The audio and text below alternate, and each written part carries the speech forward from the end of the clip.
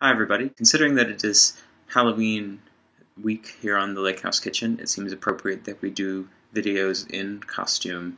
So, I'm going to see if I can make a costume.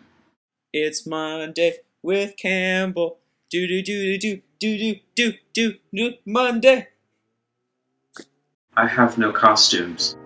As you can see, I am dressed as a towel because I am not festive and don't have any Halloween costumes. So let's get started for real.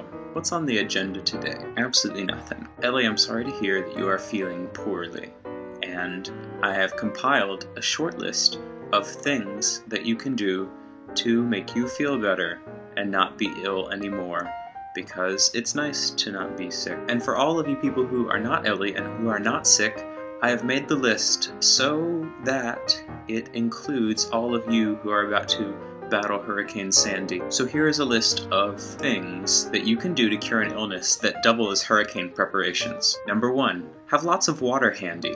If you're sick, you need to drink water. If you're preparing for a hurricane, you also need water because it's necessary to sustain life in a crisis situation. Item 2.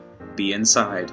This concludes the list of things that you can do to combat an illness that can also be used to combat a hurricane. I'm dressed as a towel, but I hope that you all are doing okay wherever you are, people who are going to be affected by this storm. Brave through it.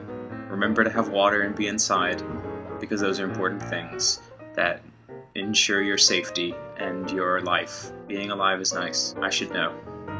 I've been alive before. I have no more to say to you right now.